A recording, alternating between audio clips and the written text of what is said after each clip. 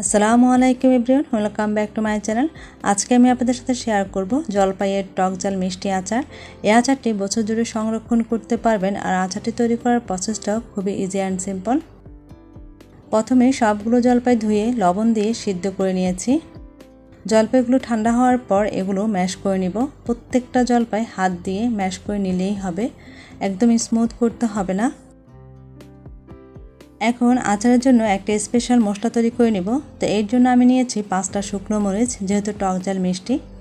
এক টেবিল চামচ পরিমাণ নিয়েছি পাঁচফোড়ন, এক টেবিল চামচ পরিমাণ জিরা। এখন এগুলো মাজারে আছে ক্রিস্পি হওয়া পর্যন্ত ভেজে নিব, যাতে এগুলো গুঁড়ো করে নিতে অনেক বেশি সহজ হয়। এবার চুলা থেকে নামিয়ে ঠান্ডা করে পাটায় গুঁড়ো করে নিয়েছি। আপনারা চাইলে ব্লেন্ড করে নিতে পারেন।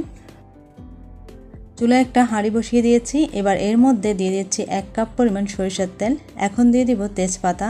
এক টেবিল চামচ পরিমাণ দিব পাঁচফোড়ন এগুলো ফোড়নের জন্য গুঁড়ো মশলাটা পরে ব্যবহার করব। হাফ কাপ পরিমাণ দিয়ে দিব রসুন, আর রসুনগুলোকে আমি একটু থেতলে নিয়েছি। রসুনগুলোকে একটু ভেজে নেওয়ার পর এখন সিদ্ধ করে রাখা জলপাইগুলোকে দিয়ে দিব। এখন এর মধ্যে দিয়ে দিব এক চা চামচ পরিমাণ হলুদ গুঁড়ো, এক চা চামচ পরিমাণ মরিচ গুঁড়ো, এক চা চামচ পরিমাণ লবণ। লবণটা আপনারা আপনাদের স্বাদ অনুযায়ী বাড়িয়ে কমিয়ে ব্যবহার করতে পারবেন। দেড় টেবিল চামচ পরিমাণ দিয়ে দেবো, সরিষা বাটা। সরিষাগুলোকে একটু সিরকা দিয়ে ব্লেন্ড করে নিয়েছি। কারণ পানি ব্যবহার করলে আচারে পাঙ্গাস চলে আসবে। পানি ছাড়া যদি আচারটা তৈরি করা যায়, তাহলে দেখবেন আচারটা অনেক দিন পর্যন্ত সংরক্ষণ করতে পারবেন। এখন সবগুলো মশলা মিশিয়ে দশ মিনিট পর্যন্ত জাল করে নিব। এখন এর মধ্যে দিয়ে দিব এক কাপ পরিমাণ চিনি। আর এই আচারটা আপনারা কতটুকু টক মিষ্টি খেতে চান সেটা আপনারা আপনাদের স্বাদ অনুযায়ী বাড়িয়ে কমিয়ে ব্যবহার করতে পারবেন।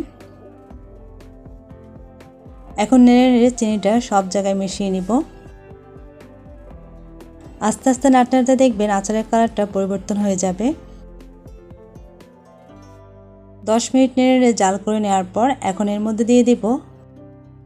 প্রথমে রেডি করে রাখা আচারের মশলাটা। এখন দিয়ে দেবো ওয়ান ফোর্থ কাপ পরিমাণ সাদা সিরকা বা ভিনেগার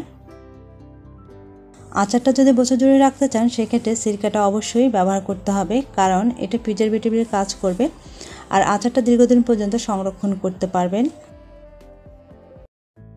আর যদি মনে করেন অল্প করে তৈরি করে খেয়ে ফেলবেন, সেক্ষেত্রে ভিনেগার ব্যবহার না করলেও চলবে।